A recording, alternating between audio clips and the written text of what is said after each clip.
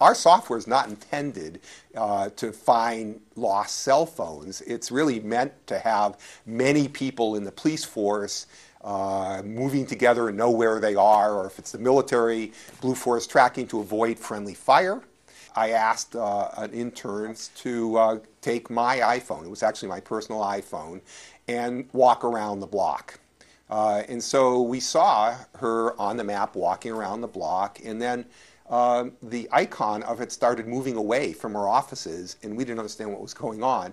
So we were getting on the phone about the caller, because she was carrying my cell phone, and uh, uh, the intern burst in the door crying, saying that uh, she had just been mugged and uh, a, uh, a thief on a bicycle had grabbed the cell phone from her and had ridden off with it.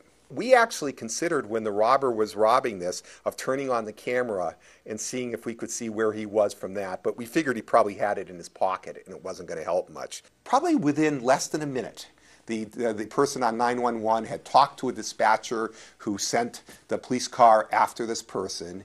And so it was really quite exciting. I was calling out the, uh, the location and direction of the bicyclist, and the police car was following the directions. The police department was receiving uh, updates via dispatch uh, from the victim as far as where the phone was located at that time.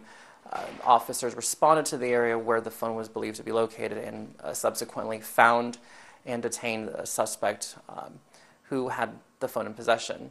Hopefully, it's a deterrent uh, to the criminals that when they do steal either a car, an iPad, an iPhone, or a laptop, that they don't know if it's being tracked. And um, hopefully, it sends a clear message to deter crime.